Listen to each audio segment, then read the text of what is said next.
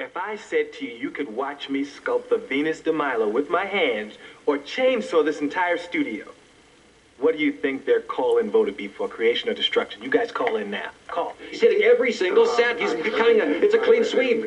He's making a clean swath from one side of the studio to another. And I know just what they want. Now, this is good. Your Bainbridge will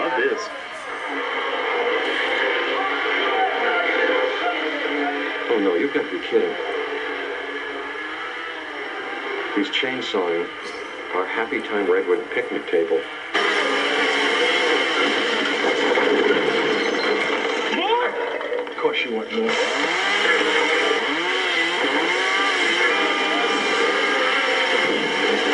And bench. He got the whole set.